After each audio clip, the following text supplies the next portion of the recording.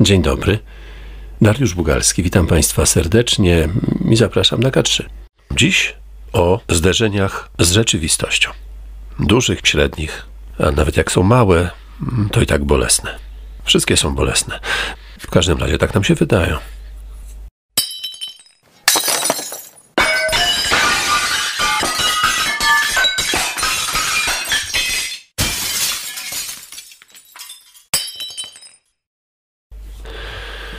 No, mo moje dzisiejsze nie są aż takie, no ale też są. To przeziębienie. Spróbuję z życzliwością, tak jak moja babcia. Ona tak mówiła swoim nadniemęskim językiem. Szanuj zdrowie, Dareczku. No, Dareczku, czapeczka, szaliczek, uważaj na siebie. To był taki życzliwy wewnętrzny dialog i ja mam nadzieję, że i Państwo przyjmą z życzliwością moją dzisiejszą wokalną niedyspozycję i z taką nadzieją zapraszam Państwa na K3.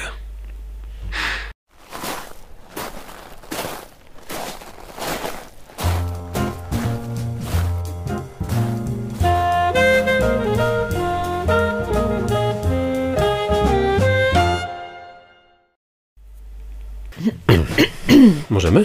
Jasne. Cudnie. Marta Szydłowska. Bardzo się cieszę. Dzień dobry. Dzień dobry. A może pani o sobie powie więcej? Bo ja tu mam napisane na karteczce, pani ma to w sercu, więc... Psycholożka, psychoterapeutka. A w tle naszej rozmowy będzie książka Zderzenie z rzeczywistością. Raz Harris. To jest podobno jakiś niesamowity facet, tak? W związku ze swoimi doświadczeniami w bardzo piękny, autentyczny sposób potrafi przekazać nam to, co rzeczywiście ma w sercu i tą wiedzę, którą zdobył teoretycznie. Książkę przełożyła Anna Sawicka-Hrabkowicz i może od początku zacznijmy. Dedykacja dla mojego syna. Kiedy pracowałem nad pierwszym wydaniem tej książki, miałeś zaledwie 5 lat. Teraz, gdy pracuję nad drugim wydaniem, jesteś młodym 14-letnim mężczyzną. Przez te wszystkie lata byłeś bez wątpienia moim najlepszym nauczycielem.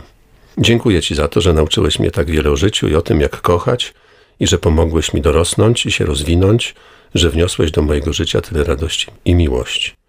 Żadne słowa nie oddadzą tego, jak bardzo Cię kocham. Hmm, piękne. Taka dedykacja. Niesamowite. To jest moment, w którym autor mierzył się z chorobą syna. Opisuje swoje trudne doświadczenia życiowe i rzeczywiście miał pod górkę parę razy w życiu mocno, prawda? Tak. Wie o czym pisze. Program WHO w obozach uchodźców. On go stworzył. Tak. Kładę przed tobą, to może państwo to zrobią sobie teraz, nasi słuchacze, zobaczymy. Kładę przed tobą pudełeczko z czerwonym przyciskiem. To urządzenie jest niesamowite. Wystarczy, że naciśniesz czerwony przycisk, a cały twój strach, twoja złość, twoje poczucie winy, twój smutek, twoje poczucie osamotnienia znikną. Podobnie jak wszelkie bolesne wspomnienia. Po naciśnięciu tego przycisku już nigdy nie doświadczysz bólu. Tylko, że ma jeden skutek uboczny. Otóż, kiedy naciśniesz ten przycisk, przestanie ci na czymkolwiek zależeć. Nie będzie ci zależało na przyjaciołach, na członkach rodziny, nie będziesz się przejmować tym, czy oni są weseli, czy smutni, czy żyją, czy nie. No i tak dalej, i tak dalej. Pytanie. Czy naciśniesz czerwony przycisk? No bo nie będziesz wtedy odczuwał bólu. Ależ to jest zadanie, co? Ależ to jest zadanie. Jest pokusa. Jest, bo jako ludzie do tego dążymy, żeby było tylko przyjemnie, tylko miło, tylko szczęście. Nie chcę bólu, nie chcę trudności. Znowu się muszę z czymś mierzyć? Kto sobie takiego pytania nie zadaje? A życie nie składa się tylko z tego, żeby było przyjemnie. Emocje nie są tylko radosne. Ból jest nieodłącznym aspektem człowieczeństwa. I to jest właśnie to piękno życia. To jest duży fragment wiersza. Przeczytam tylko fragment, takie przesłanie. Taka słynna książka Prorok. Smutek i radość zawsze są razem. Przychodzą do nas wspólnie i kiedy jedno siedzi z tobą przy stole, drugie śpi na posłaniu twoim. To ładnie w poezji brzmi, ale jak kogoś naprawdę to życie zaboli. Jeden z bohaterów książki, pacjent, mówi, to hipisowska propaganda, czy coś takiego. Chyba Tak. używam mocniejszych słów. Hipisowska propaganda, że Aha. trzeba się przyjrzeć, że to, że tamto, Aha. mówi, to po prostu boli tyle. No i co, co mi pan będzie tu opowiadał? To strasznie boli. Odwal się pan, weteran wojenny tak mówi. Tak, no dążymy do jak najszybszego pozbycia się, do rozwiązania tego problemu. Taka myśl mi się teraz zrodziła, jak pan to przeczytał, jak popatrzył z nadzieją, że znajdę jakieś rozwiązanie. No właśnie tego potrzebujemy jako ludzie, konkretnych wskazówek, konkretnych rozwiązań. A czego świat od nas oczekuje? No przecież szybkości działania, podejmowania kolejnych decyzji i te decyzje mają być tylko dobre. I najlepiej, gdybyśmy mieli taki skalpel i tym skalpelem ten ból sobie y, wycięli. Tak. I właściwie ja myślę, że kultura dzisiaj to proponuje. Myślę, że to jest oszustwo, ale obiecuję, że to można zrobić na różne sposoby. Żyć w świecie, który jest rzeczywiście wtedy naszą iluzją, fantazją. Mhm. Jakbyśmy popatrzyli na to tak, jak jest w tym wierszu, że i smutek, i radość idą ze sobą w parze. No, tęcza wychodzi po deszczu, czyli coś pięknego może zadziać się, kiedy jest jakaś trudność. Pięknie powiedziane, tylko. Znowu pięknie powiedziane, tak.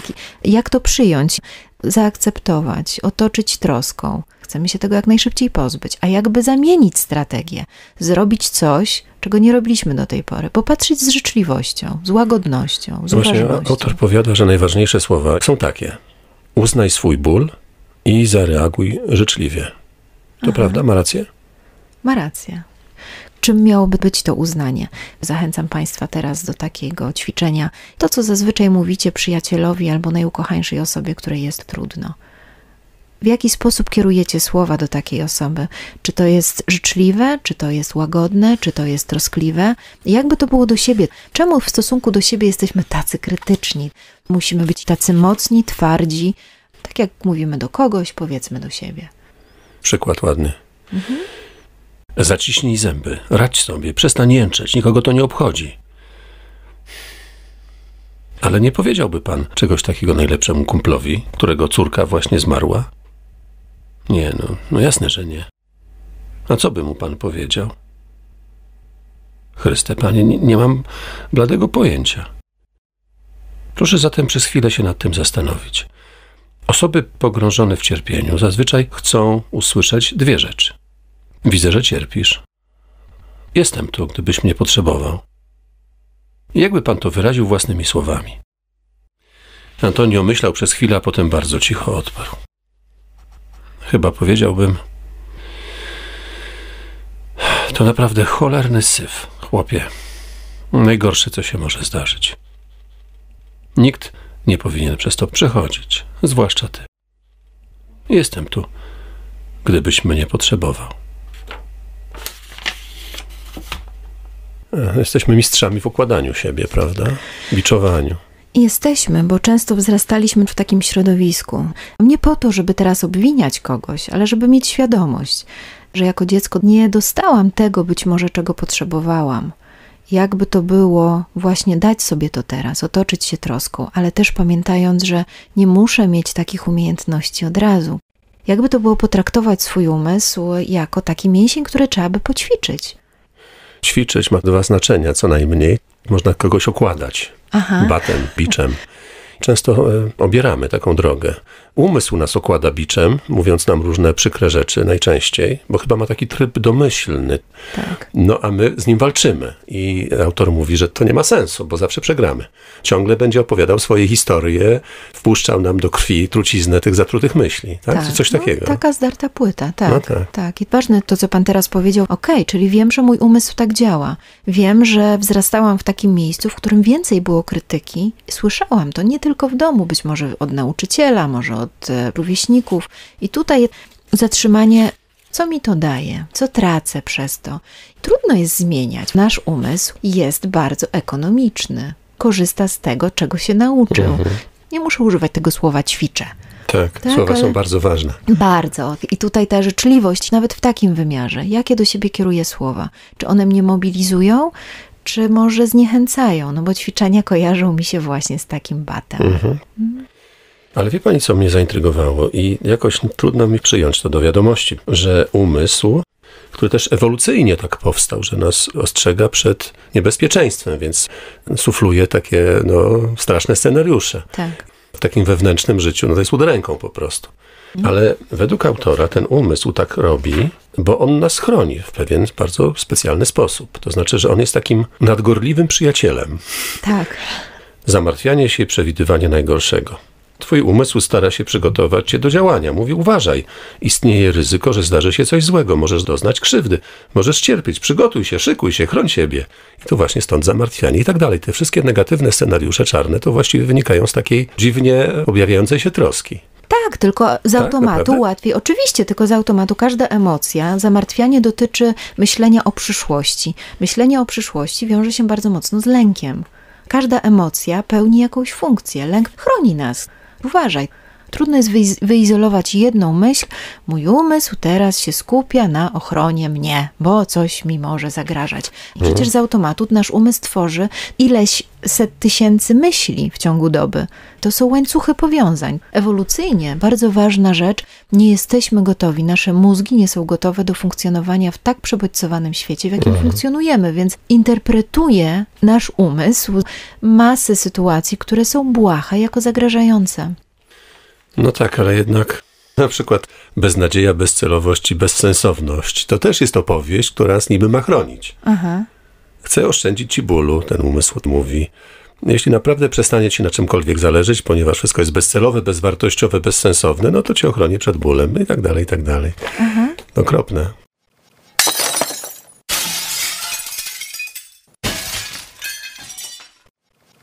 Marny kumpel.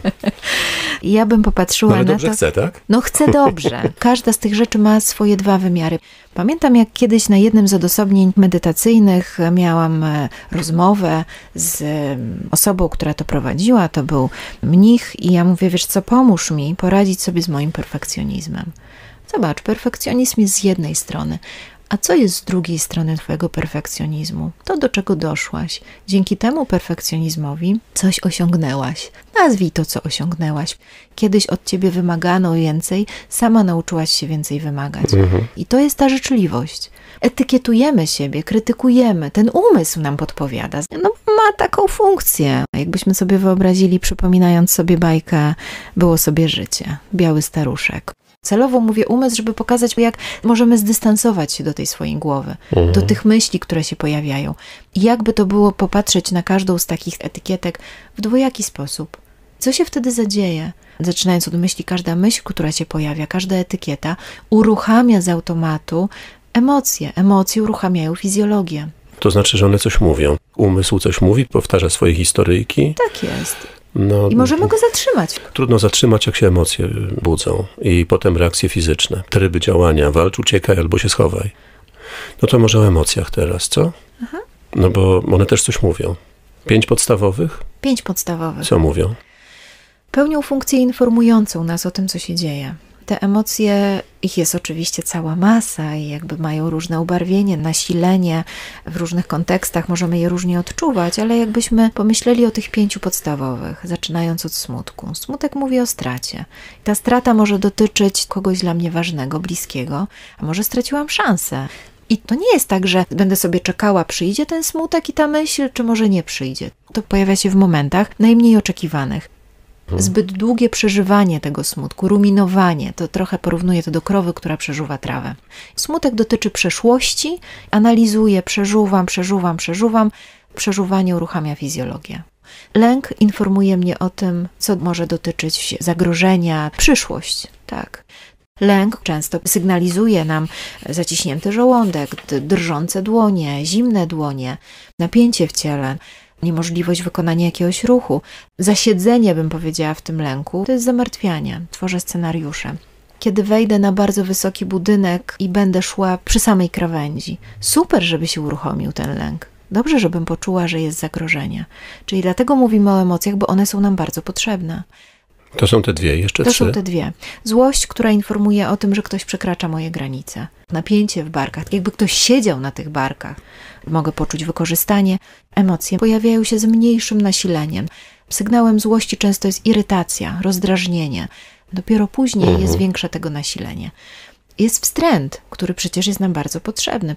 Pomyślmy sobie o czymś, co jest e, starym jakimś jedzeniem, śmierdzącym. Wstręt, odruch wymiotny, czy zbieranie się śliny, to dzięki temu, że czuję wstręt, mogę się ochronić, czyli organizm mnie chroni przed zagrożeniem zdrowia. No i radość jako pobudzenie w ciele. Wszystkie komórki w ciele mi chodzą. To też jest biochemia. emocje męczą, bo uruchamiają fizjologię. Radość także męczy. Radość informuje nas no, o tym, że jest mi przyjemnie, że jest mi dobrze, że realizuję własne potrzeby, idę w zgodzie z jakimiś wartościami, które są dla mnie ważne. No, ale sama radość nie, nie istnieje. Nie istnieje żadna z tych emocji. Dobrze Mhm. jest poczuć, pomyśleć o tym, jaka emocja w tym momencie jest i gdzie ją czuję w ciele. Często złość pojawia się w barkach, lęk w brzuchu, smutek, gula w gardle. Ale tu jest cztery do jednego. No właśnie, to jest tak, że Radość tylko jedna. radość tylko jedna. I to jest też tak, że ewolucyjnie, tak jakbyśmy sobie wyobrazili tego człowieka siedzącego w jaskini i czyhającego na zwierzaka, bo jest głodny. No często odwrotnie właśnie. Zwierzak. Tak jest. Czyha na I to jest tego. ten świat, w którym teraz żyjemy. Jest tak dużo bodźców, mózg nie dostosował się No do tak. tego. Teraz sygnały z ciała. Piękny cytat z Joyce'a. Pan Duffy żył w pewnym oddaleniu od swojego ciała. Ja myślę, że to nie tylko pan Duffy. Chyba mamy z tym ciałem relacje rozluźnione, tak mi No się tak, wydaje. co czuję teraz? Duży palec w lewej stopie. Tak. Aha, Spróbowałem poczuć, ale to trzeba się mocno wysilić. trzeba. No ale jak często to robimy, żeby przenieść uwagę na chwilę? A to jest właśnie ten trening. Często trening kojarzy się, czy ćwiczenia kojarzą się z wysiłkiem wkładanym w coś i że to muszę teraz już robić to pół godziny. A czasem to jest chwila. Przeniesienie uwagi na zasadzie wykształcenia nowych połączeń neuronalnych. Znowu odnosząc się do bajki, te niebieskie neuronki, które zasuwały tak szybko. Jakie to? Było sobie życie. Aha, tak to nie pamiętam tych neuronków. Te neuronki, które tak szybko biegały, taki dymek za nimi leciał, dzięki temu, że bardzo tak. mocno wykształcone połączenia neuronalne. One się tworzą wtedy w naszym mózgu, kiedy jest coś powtarzalne. Szlaki neuronalne się umacniają. Aha. I po to jest nam uważność i zatrzymanie, czy wiedza na temat emocji, wiedza na temat reakcji, żebym kształtowała nowe szlaki neuronalne. Samo pomyślenie o tym już jest tworzeniem nowego szlaku neuronalnego. Aha. Tak jak tak pani mówi po trochu, po kolei, rozbierając to na czynniki pierwsze, to jest oczywiste. Ale często, jak mamy to zderzenie z rzeczywistością, duże czy małe, często jest tak, że no, autor używa metafory, mówi o tym, że to jest smog psychiczny. Że to Tak. nas dusi i oślepia. I wtedy działamy panicznie. Coś nas zmusza do podjęcia walki albo uciekania, albo ten trzeci tryb, żeby zamrzeć. Tak. Bo ten smog psychiczny nam nie pozwala się pozbierać. No oczywiście, nikt wtedy nie usiądzie sobie na sofie no wygodnie i się nie pozastanawia nad tym, co się dzieje, ale, bo trudno by jest tak, ale, ale wyizolować. trzeba by tak zrobić. To, co byłoby ważne, to zatrzymanie, przeniesienie na chwilę uwagi do tej lewej stopy albo Mhm. do tupnięcia nogami i poczucia, że stoję tymi nogami na No ziemi. właśnie, on mówi y, o takiej metodzie UNZ. Uznaj to, co się dzieje, to, co się w tobie dzieje także. N to nawiąż kontakt z ciałem, to pani o tym właśnie powiedziała, Tak. żeby zmienić pozycję ciała, coś tak, zrobić takiego klaśnij, dotknij Tak. czegoś, żeby poczuć, że to ciało jest. No i potem jeszcze Z, to znaczy, że no i zostań w tym miejscu jakby, czy w tej rzeczywistości teraz, a nie kombinuj. Tak. I on to nazywa kotwicą. Pierwszy stopień do tego, żeby się z tego smogu psychicznego otrząsnąć. Zauważyć to, co się teraz w tym momencie ze mną dzieje, bo umysł, znowu wracamy. Umysł tak działa. Umysł działa autonomicznie, ekonomicznie. Działa według utartych szlaków e, i tego, co do tej pory robiliśmy. Jeśli do tej pory reagowaliśmy impulsywnie, przecież wiesz, co zrobić. No zadziałaj, zareaguj, zrób coś, zmień sytuację, jest ci źle. Nie chcesz tego tak, bólu, tak, nie chcesz tak. cierpienia. Pozbądź się tego. Wiemy na podstawie wielu badań, że emocja fizjologicznie trwa 90 sekund. To jak to się dzieje, że ktoś jest w rozpaczy tak długo? Albo jak to się dzieje, że ktoś jak się ze złości, to się złości cały dzień? Czuje złość cały dzień, może tak to nazywając. No No jak to jest? Bo, bo myśli, to prze, mamy bo prze, myśli. przeżuwa to, tak? Oczywiście, fizjologicznie emocja się pojawia, dochodzi do wzbudzenia układu współczulnego i ona za chwilę odchodzi. Mhm. Jeśli uruchomimy układ przywspółczulny, to jest spokojniejsze oddychanie, dłuższy wydech. No, ale to wymaga jest- decyzji. Tak jest. Tak, czyli to jest ten moment zauważenia, co się dzieje. Oczywiście znowu my jesteśmy tu w spokojnych warunkach, pięknie się opowiada o tym. W sytuacji zagrożenia, trudnego momentu, zmęczenia, to nie jest takie oczywiste.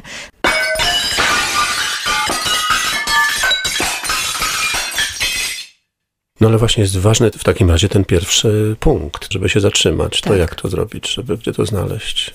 Żeby nie dać się porwać temu smogowi psychicznemu, czy smokowi w takim razie, który nas zje. U każdego z nas może być inaczej, w zależności od tego, z jaką intensywnością reagujemy, w jakim jesteśmy stanie, czy jesteśmy wyspani, więc tu wiele czynników, ale jakbyśmy sobie wyobrazili płaczące w sklepie dziecko, dwulatka, który bardzo chce zabawkę, zaczyna prosić na początku. I mama mówi nie.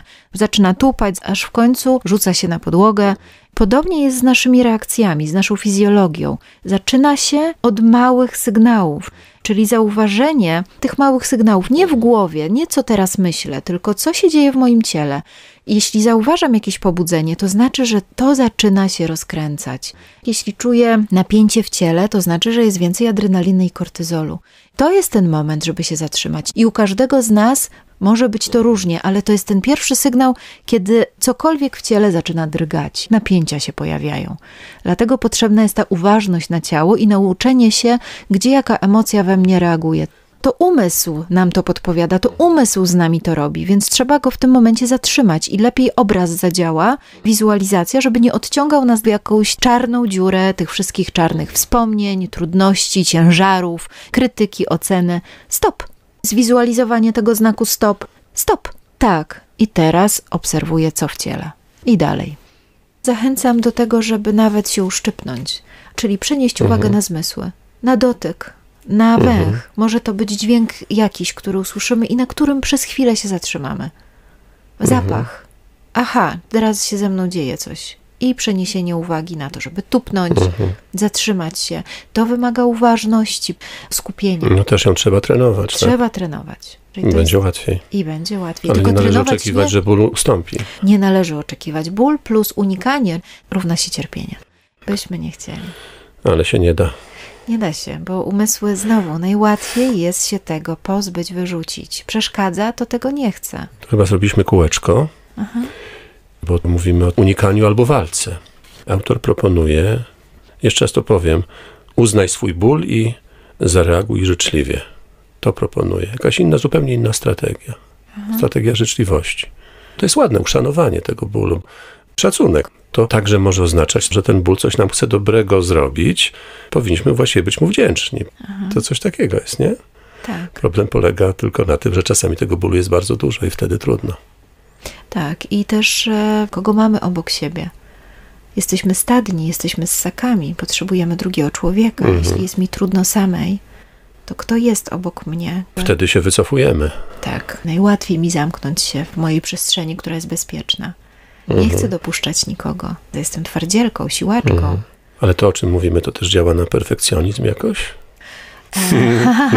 Dotykamy tego mojego. Nie no, już pani zaczęła. Oczywiście, że działa, no bo przecież jestem Zosia Samosia, ze wszystkim sobie poradzę. Ile bym e, nie przyjęła propozycji ról i zadań, to wszystko ogarnę. Pomaga? Pomaga wtedy takie uznanie tego, tak, jest mi teraz źle i potrzebuję drugiej osoby, która mhm. mhm. chociażby zrobi herbatę. Czasem jest tak, że takiej osoby nie ma i tu jest ważny kontekst samotulenia, samowspółczucia. Ten pan, jak on się nazywa, Harris, tak? tak Raz Harris. Harris. On ma taki talent i wymyśla różne fajne ćwiczenia. Ćwiczenia a propos walki z emocjami. Mhm. Może sobie zrobimy, że on mówi tak, weź, weźcie książkę i wyobraźcie sobie, że to są emocje, trzymajcie na wyciągniętych ramionach, napinijcie te, te ramiona, tak podtrzymajcie sobie minutę. I to są wasze emocje nasze emocje. My tak robimy przez cały dzień. Trzymajmy, zobaczymy tak minutkę. Teraz zróbcie, drodzy słuchacze i słuchaczki, takie doświadczenie. Przeciągam to celowo, żeby była prawie minuta, Aha. a potem tak połóżcie na kolanach i, naprawdę jest ulga. Aha. A drugie ćwiczenie podobne. Weźcie książkę i tak przed sobą wyciągnijcie i potem przysuńcie blisko, tak do oczu, żebyście tak mieli przy oczach. I tak potrzymajcie sobie minutkę i zobaczycie, co widzicie. Potrzymacie, potrzymacie, potem znowu buch. To ten smog psychiczny, który nas wykańcza, nam zabiera nam energię, musimy walczyć właśnie nie wiadomo po co i też tak. zabiera nam perspektywę, bo i tak nic nie widzimy. No ale świata nie widzimy. Oczywiście, że tak. nie. Nie mamy jak bliskich przytulić, kota pogłaskać. No bo tak robimy jakby z tą książką. Tak. Tu jest ważne budowanie otwartości i dystansu do tego. Moje myśli, moje emocje to nie ja. To jest moja myśl, to jest moja emocja. Książka, którą teraz trzymam, to nie jestem ja. Mhm, to tak. jest coś na zewnątrz. Natomiast umysł dąży do tego, żeby to skleić. Zobacz, to jest najważniejsze. Myśl tylko o tym. Mhm. Na niczym innym się nie mhm, skupiaj. Tak. I są różne takie strategie, techniki, które e, kiedyś o tym mówiliśmy w którymś z podcastów, że umysł traktuje się jako kogoś, z zewnątrz jakby, nawet mu się imiona nadaje. Tak. Co ty Zdzisiek opowiadasz, albo rozumiem, dziękuję ci bardzo. No chcesz dobrze, ale ja będę robił swoje, coś takiego. Tak, ja bardzo często proszę pacjentów albo studentów, żeby podali, jak oni sobie wyobrażają ten swój umysł, co im przychodzi do głowy. Słyszę, maszynka do mielenia mięsa. Czajnik z gotującą się wodą, pająk, który robi pajęczynę i wszędzie jest takie osaczenie tej Loża szyderców. Tak, on może też zmieniać się. Może I on zmieniać ciągle tak gada i gada i Ciągle gada. gada. Zwraca no, na siebie jest uwagę. jego funkcja. O Boże. Jeszcze inne sprawy. Mówimy, jestem zły. Tak, No, jak jestem zły, to też ma dwa znaczenia to słowo zły i Tak. wtedy ojej, to jest we mnie zło. tak. No to jeśli jestem zła, to krytyczne od razu myśli, krytykujące mnie. To jestem złą mamą, Mhm, no właśnie, to tak? drugie od znaczenie, razu, które od razu staje się jest pierwszym. cała masa. tak. I jakby to było zmienić to nazewnictwo? Czuję złość, czuję smutek. Mhm, Po no coś go tak. czuję. On mi teraz chce o czymś powiedzieć. Witaj smutku, Witaj smutku. książka. Przytulam cię. Jakby to było z życzliwością, ale nie taką ckliwością. Poczucie humoru jest niezwykle ważnym elementem. I ten umysł, który mi mówi o różnych rzeczach, no dzięki, że mi podpowiadasz. Dobra, dzięki, dzięki. Pośmieję się trochę. Dotknęliśmy tematu życzliwego dialogu wewnętrznego. Tak. Nie okładania się pejczem, żeby umysł nas okładał w najlepszej wierze. Tak. Tylko to jest taki życzliwy dialog wewnętrzny. Tak, i też nie chodzi o to, żeby tak cukierkowo. Czasami trzeba tupnąć nogą. Bardzo dużo osób do mnie mówi Martusiu, Martuniu, Marteczko. To jest bardzo miłe. Natomiast jestem też Martą, która potrafi powiedzieć: Nie zgadzam się z tym, nie podoba mi się to. To jest też życzliwość. Ale żeby tak powiedzieć, muszę wiedzieć, że mi to przeszkadza. Nie musimy jako ludzie dążyć do tego, żeby było tylko cudownie, miło, sympatycznie, Wróćmy do tego hasła przewodniego. Uznaj swój ból i zareaguj życzliwie. Ważne, żeby mieć formułę, nie szukać, tylko żeby no mniej więcej mieć jakiś repertuar. Na przykład czuję teraz smutek i dalej. Taka formuła. Obym traktował, traktowała siebie życzliwie. Coś takiego. Tak, każdy może mieć swój e, zestaw. Głupio postąpiłaś, niewłaściwie, nie tak, no ale jesteś. e, Te myśli przychodzą automatycznie, na pstryknięcie palca, od razu się uruchamiają. Trening polega na tym, że w momencie, nie w którym się coś zadziewa, tylko wtedy, kiedy jest spokojnie, kiedy ja wiem, mam teraz gotowość i chcę pozastanawiać się, jakich myśli mogę użyć w takich sytuacjach, kiedy będzie trudniej, jak ona może brzmieć. I dobrze, żeby każdy sobie taką myśl stworzył. I, I miał w zapasie. I miał tak? w zapasie. Bardzo często osoby oczekują od siebie, że w momencie trudnym będą wiedziały, jak zareagować, i wtedy próbują taką myśl wyzwolić, no ale jak nie trenowały wcześniej, to nie ma tego połączenia neuronalnego. Mhm. Im więcej będzie kojarzenia, im więcej będzie myślenia w taki sposób, to tak zareagował mój umysł, uznaję teraz te emocje, zauważam teraz to, co się ze mną dzieje. Mhm. Bądź dla to. siebie wyrozumiały. Jest tak. Nawet, nawet mogę powiedzieć, emocjo, widzę cię, jestem dla ciebie wyrozumiała. Możemy tego nie umieć, bo w związku z różnymi sytuacjami, których doświadczaliśmy, często żyliśmy w środowiskach, które były unieważniające te emocje. Nie można było czuć złości, smutku, lęku. No tak. Więc teraz oczekuję od siebie, że to będzie natychmiastowe. Często mogliśmy słyszeć po przewróceniu się, kiedy pojawiały się łzy, bolało kolano, a mogliśmy słyszeć, nic się nie stało. Wstawaj, nic się nie stało. Stało się, bo boli kolano, jest mi teraz smutno. Boję się, że nie będę mogła jeździć na rowerze, bo skaleczyłam kolano. Ale to mi się przypomniała taka piękna historia. To zupełnie z innej bajki terapeutycznej, ale Aha. Erikson jest taki słynny, Tak. prawda? Ten od, od hipnozy. Tak. Tak. To jest cudowne. Jak jego syn się wywrócił na rowerze, tam pokaleczył się, strasznie płakał. To był mały chłopiec. Ten mu mówi tak, boli cię. To dziecko zatrzymało ten płacz, było zdziwione. Aha. Ale potem jeszcze głośniej wybuchło płaczem. On mówi, i będzie bolało. O, ja myślałem, może gestapowiec. I to dziecko tak samo pewnie poczuło i zaczęło jeszcze głośniej, a tamten mówi, ale przestanie. Mhm. Cudowne. Tak. Idą do lekarza i to dziecko jak zobaczyło lekarza, no wrzask, no wiadomo. Pan doktor zaraz ci założy szwy. No i znowu jeszcze gorzej. Mhm. A ile pan doktor założy ci szwów? Pięć. Pięć. To dużo. Boże, no to jednak gestapowiec. I znowu ryk. Mhm. Pamiętasz, jak twoja siostra sobie rozbiła głowę, to ile miała szwów? Trzy. A ty będziesz miał pięć. A chłopiec. Aha, Cudowne, bo on z szacunkiem zauważył to, nie kłamał, że, że nie boli, bo boli. tak. Ale przestanie, prawda. No i też wy taką ścieżkę bohatera otworzył. To dziecko poczuło się dumne. Cudowna opowieść. Tak. Uznał to, Tak, uznał. uznał. Szacunek. Tak. Tak, uważnie Duma, duma, zatrzymał duma. się. Boli, Aha. ale przestanie. No, przestań. Emocja się pojawia, Mhm. ale opada w naturalny sposób. Mhm. Tak, teraz jest ból, teraz jest trudno mi z tym.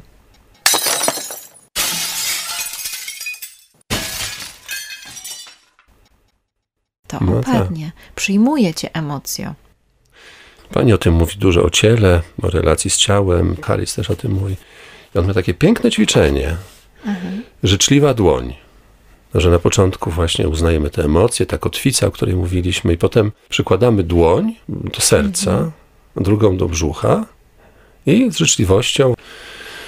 No i mówimy tutaj, że no, ta dłoń promieniuje życzliwością. Tak. I to jest też coś, co nie jest takie oczywiste do zrobienia. No chyba nie. Barku, jesteś moim barkiem. Możemy potraktować to z żartem, znowu, żeby Myślałem, że Darku pani mówi. A natomiast, no właśnie, jakby to było, jeśli nie ma kogoś, kto mnie przytuli, przecież to przytulenie jest tak niezwykle ważne wtedy, kiedy dzieje się źle. Potrzebujemy przytulenia, potrzebujemy dotyku. Czasem nie ma kogoś, to nie znaczy, że nie ma nikogo w moim życiu, ale w tym momencie nie ma tego fizycznego utulenia. To daję sobie to sama. To bardzo ładne jest to z tą życzliwością dawaną sobie słowami, też Tak. dotykiem, dłonią na sercu. Bardzo piękne. Bardzo często robimy to w kierunku innych osób, naszych zwierzaków. A jak to byłoby przyjąć to do siebie? No do siebie, no Do tak. najukochańszej osoby to kierujemy. A teraz wyobrażamy sobie, że sami jesteśmy tą najukochańszą osobą dla siebie. No tak. Przechodząc dalej, cele są dalej. Najpierw są wartości, a nas uczy się odwrotnie, że to Tak. trzeba osiągać cele. Czasami po trupach, po własnym trupie jakby, też psychicznym w pewien sposób.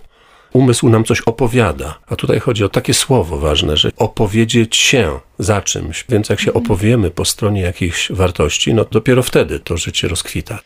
Zaczynając od początku, szkoła nas uczy osiągania efektywności, No tak. czy życie nas uczy tej efektywności. Tak. A jakby to było zauważyć pewien wysiłek, który w coś wkładam. Czyli nawet jeśli dzisiaj przeniosłam trzy razy uwagę do tej lewej stopy, to zauważam ten wysiłek. Doceniam się za to, że ten wysiłek w to włożyłam. I po co to robię? Jaka jest intencja? Mhm. Po co to robię? No właśnie po to, że kieruje mnie to do tego, co jest dla mnie ważne w życiu. No dobrze, a z tym palcem, Aha. Pani o palcu zaczęła mówić. To jaka tu jest wartość właściwie, że się skupię na palcu? trenuje swój umysł w elastyczności przenoszenia uwagi. I tak No naprawdę i jaka tu jest wartość? no, chce się rozwijać, chce rozwijać swój umysł w kierunku dbałości o siebie, umiejętności reagowania w trudnej sytuacji. Jestem O. odważna w tym, żeby się temu przyjrzeć i chcę Mhm. zobaczyć, co z tego wyjdzie. Nie wiem, co wyjdzie. Aha, no tak, Tak? prawda. No, I to się to dopiero niekoniecznie, składa- że tam się rzucamy Tak. na wroga, tylko że Bo ja do tego dążę. Na tym polega różnica pomiędzy efektem końcowym i dużym celem, a wysiłkiem, za który doceniam się, za to, że właśnie te trzy razy skupiłam uwagę na tym palcu dzisiaj. Doceniam się za to. poprzedni odcinek K3 zakończyłem takimi słowami, które mm, to tak na, na zakładkę miało być. To się nie udało, żeby zacząć tę naszą rozmowę od tych słów, bośmy mieli inne pomysły.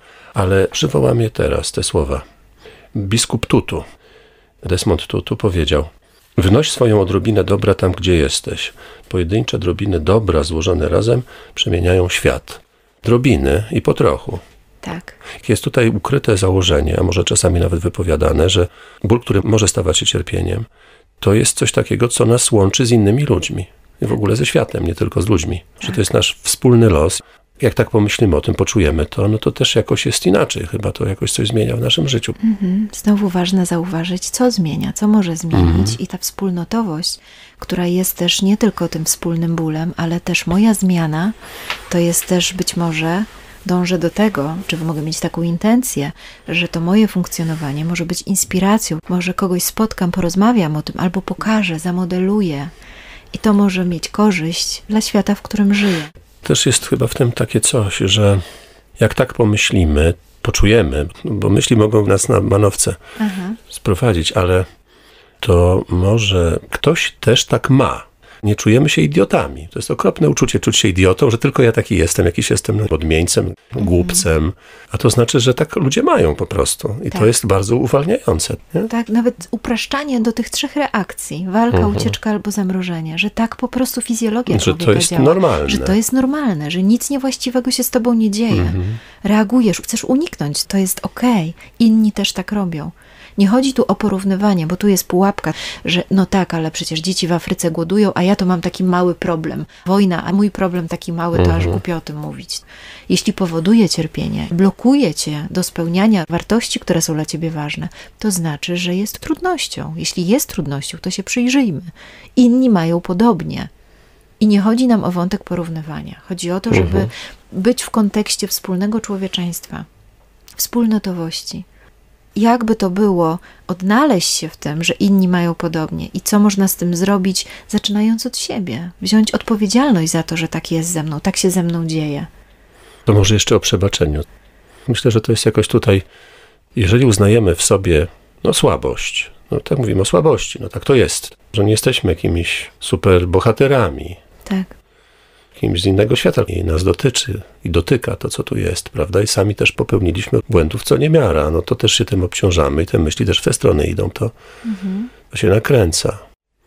Ten umysł nam mówi, patrz, co ty zrobiłeś kiedyś, przychodzi, Tak. przychodzi. Takie międlanie straszne. Tak, i jak to jest. potrafi e, być. Tak, to jest taka zdarta płyta, Mhm. bo on jest bardzo ekonomiczny i automatyczny. I jak to jest, kiedy myślę o sobie, hmm, być może kogoś zainspiruję, może komuś pokażę coś ciekawego, może komuś powiem o czymś ciekawym. Jak trudno jest uznać w sobie coś takiego dobrego, jakąś ładną, dobrą cechę. Mhm. Babcia mi powtarzała, jesteś słonkiem, jak przyjeżdżasz, chce mi się uśmiechać. No dobrze, bo babcia dawno mnie nie widziała. A jak to byłoby przyjąć to, że tak, mogę, mogę zauważać w sobie różne rzeczy, które chcę zmieniać, też przebaczam sobie, że No właśnie, mówię o tych niedobrych błędów- rzeczach, które zrobiłem, a nie o tym słoneczku, tylko o tym raczej e, czymś tak, innym. chcę pokazać też umiejętność e, takiego rozróżnienia, że łatwiej nam jest się skupić tak jak na tych emocjach trudnych, które wzbudzają w nas taki afekt negatywny, czyli tą reakcję organizmu negatywną, której nie chcemy, chcemy się tego pozbyć. Podobnie jest z myślami i z moimi cechami, umiejętnościami, które mam. Łatwiej jest się skupić na deficytach. Tego nie mam, tego nie umiem. To przebaczanie to jest taki proces e, wiązany. Zauważam, co mam w sobie dobrego, w czym się wyróżniam, co umiem nie w sposób narcystyczny, tylko taki, który jest też korzyścią dla tych ludzi, z którymi żyję, w taki przebaczający sobie sposób, ale też innym. No właśnie, Określając. z tą urazą to też Tak, jest, tak. prawda? To jest tak, szeroki temat i myślę, że gdzieś... na, na inną rozmowę. pewnie. Tak, bo wiele komponentów w to wchodzi.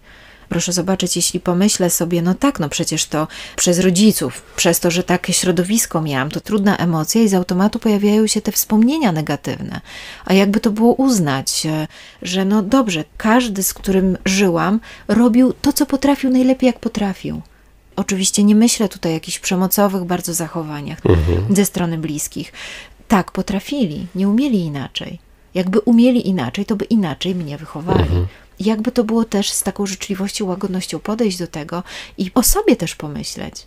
Jakbym umiała, bo na tym polega też nasze ruminowanie. Gdybym kiedyś nie krzyknęła na mojego syna, to pewnie on teraz nie miałby jakichś trudności swoich.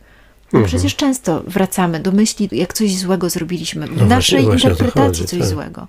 A jakby to było uznać, podjęłam najlepszą z możliwych decyzji na tamten moment. Jakbym znała inne rozwiązania, to bym podjęła inną decyzję. Wybaczam to sobie, co zrobiłam. Mhm. Uznaję to, że taką decyzję podjęłam. A ponieważ słowa są takie ważne, tutaj też jest moc w słowie. Przebaczenie jest słowo synonim darowanie. Mhm. Darowanie.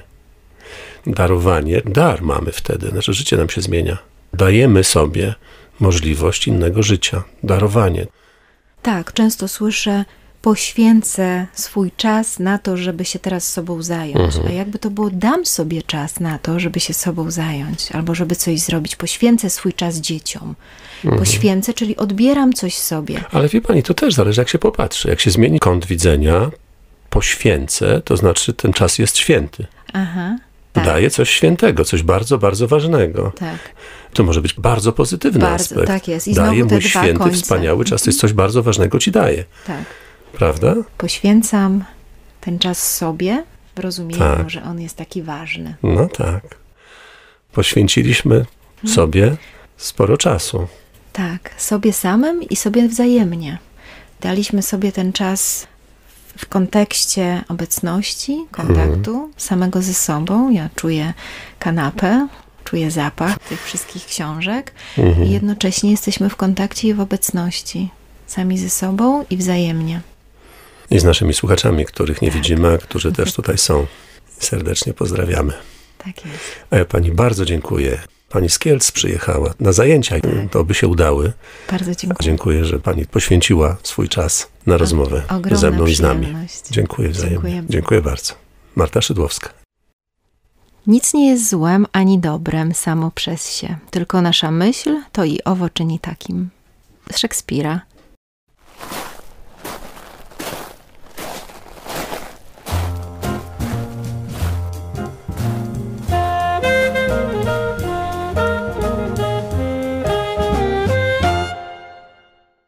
Bardzo Państwu dziękuję.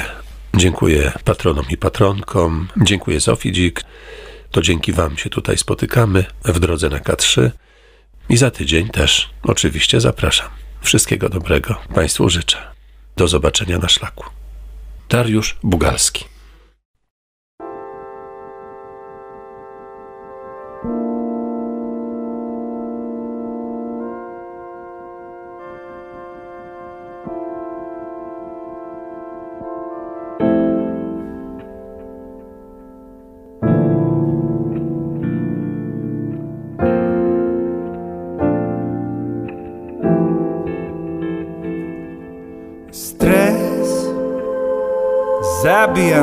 Stres. Stresuje mnie stres. Odbiera mi sens. Stres Skraca życie mi. Mówisz naucz się z tym żyć. Naucz się żyć. Nie bądź taki na serio. Z rana poczuj to ciepło, co przechodzi ci przez kark. Bo stresu masz jak tlenu, jak banków i maklerów, towaru dealerów, Watykanie kleru. Stresu tyle jest, jak rzeczy, których nie musimy mieć. Jak rzeczy, w których zakopuje się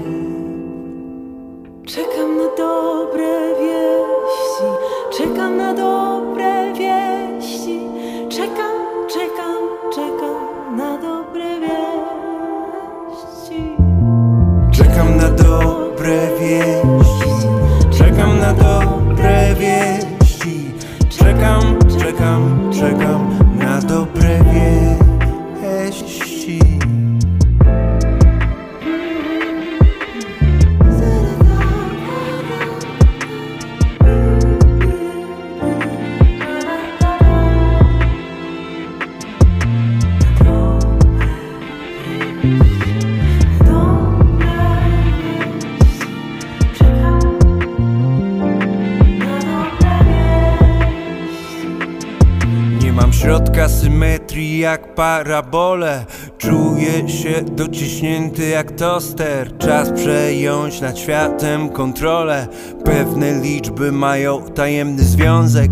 Mają swój tajemny kodeks. Sprawdzam puls, sprawdzam swój oddech. Na palcu mam pulsoksymetr. Wdech i wydech, rejestruj różnice. Mam wodę do picia, warunki do życia. Ubranie na sobie, mam co jeść. Więc jak to jest? Po co mi ten stres? Kiedy życie dla mnie łaskawe jest. Jest dobre, jest dobre, jest dobre